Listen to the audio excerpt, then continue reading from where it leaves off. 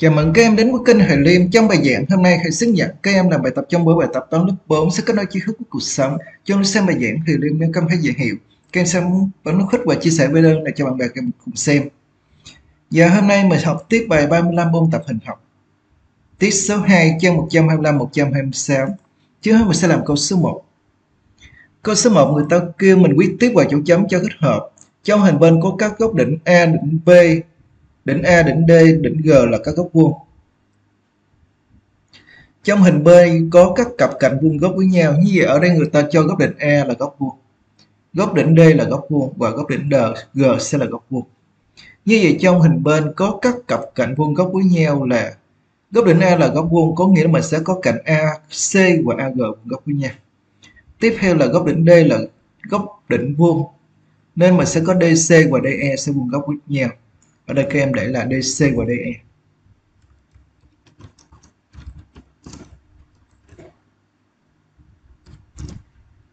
giờ góc đỉnh G là góc vuông có nghĩa là GE và GE sẽ vuông góc với nhau.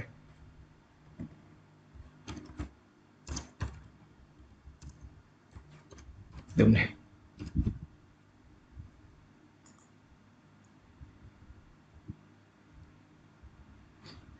Tiếp theo là câu B các cặp cạnh cắt nhau và không vuông góc với nhau.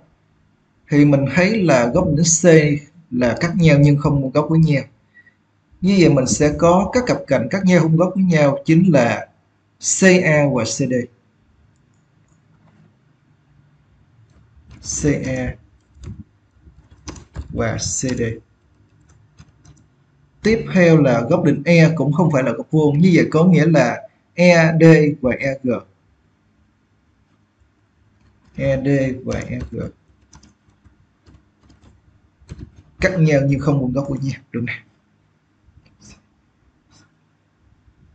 Giờ như là mình xong câu số 1 Câu số 1 kem hiệu bài. Câu xong khích video thì các kem hiệu bài.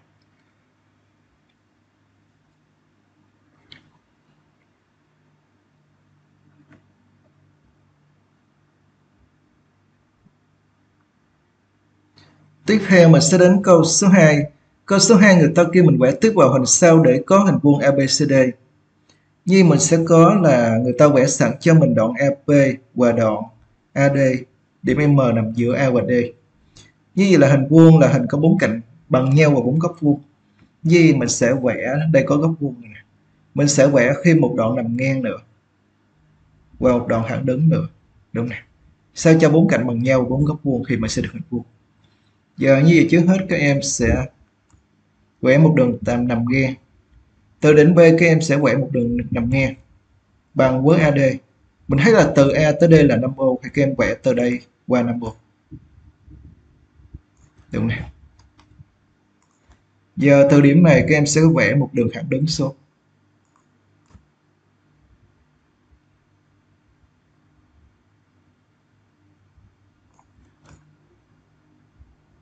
đúng này cũng là 5 ô thì mình sẽ có hình vuông. AB điểm đây chính là điểm C.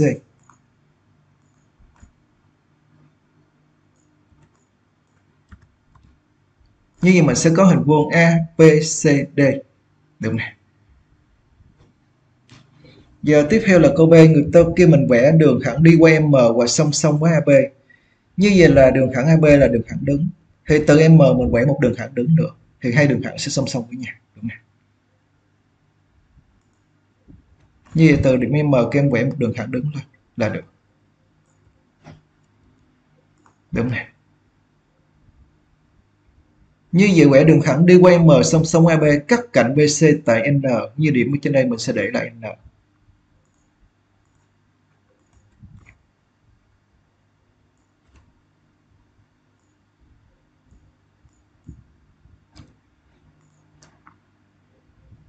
Giờ tiếp theo người ta kêu câu C người ta kêu mình dùng IKEA để kiểm tra giờ quyết tiếp và chỗ chấm cho thích hợp.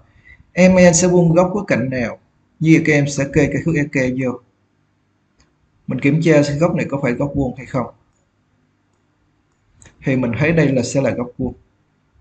Như vậy là MN em MN sẽ vuông góc với MD đúng này có nghĩa là MN sẽ vuông góc với AD giờ các em kiểm tra góc trên đây, thì mình thấy là MN sẽ vuông góc với AP đúng này giờ như vậy là sau khi kiểm tra, mình trả lời câu hỏi như sau. Như MN sẽ vuông góc với AD với cạnh AD và MN sẽ vuông góc với là BC luôn. Đúng này giờ các em vẽ hình xong các em sẽ điền ở phía dưới. Này là được. Đúng này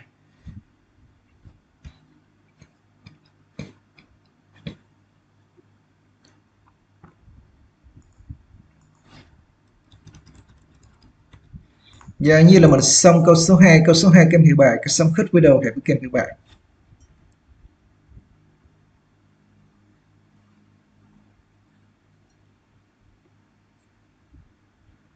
Tiếp theo mình sẽ đến câu số 3.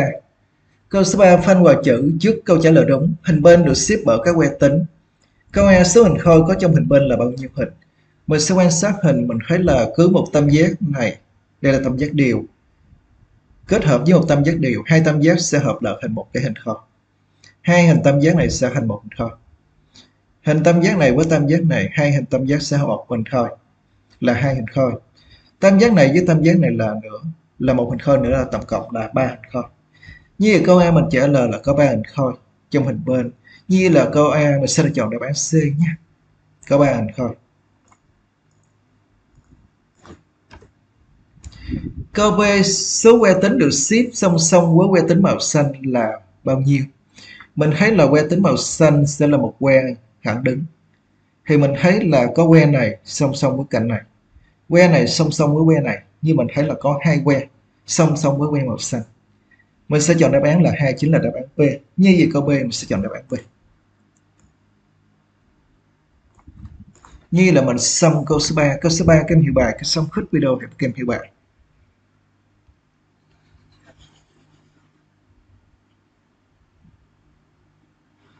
Tiếp theo mình sẽ đến câu số 4 câu số 4 người ta kêu mình vẽ theo mẫu giờ tô mèo. Như vậy là mình sẽ quan sát hình thì mình thấy đây là các hình khôi. Hình khôi này mình thấy là chiều cao, chiều đứng.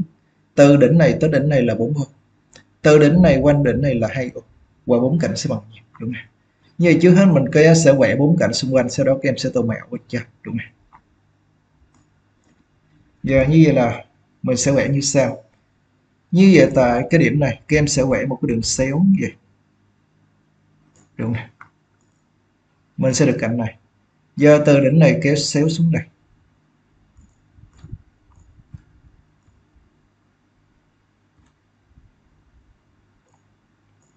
Xéo hai ô, một ô. Đúng này giờ tiếp theo từ đỉnh ở đây các em sẽ xéo lên.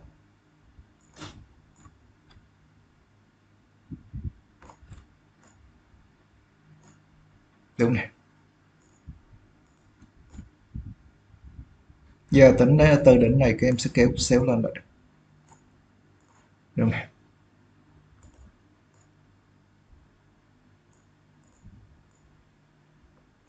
giờ như gì mình sẽ được một hình kho?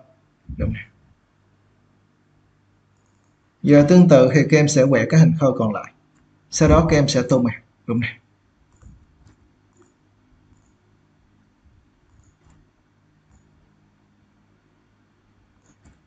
như các em sẽ vẽ các hình khâu tiếp theo.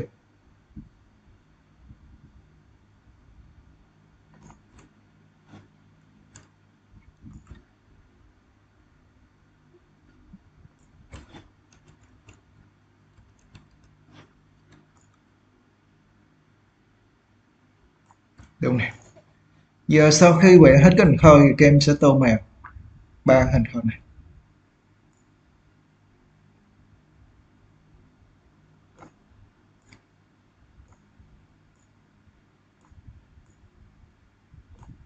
Đúng này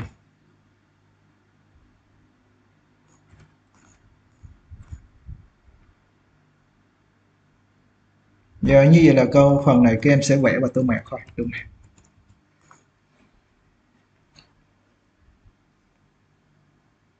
Giờ như là mình xong bài giảng hôm nay, nếu các em thấy gì dạng giờ hiệu quả khích chia sẻ cho bạn bè cùng xem và em là cho đăng ký kênh Hải Liêm quay xe bấm đăng ký bấm chuông để xem bài giảng mới nhất Hải Liêm.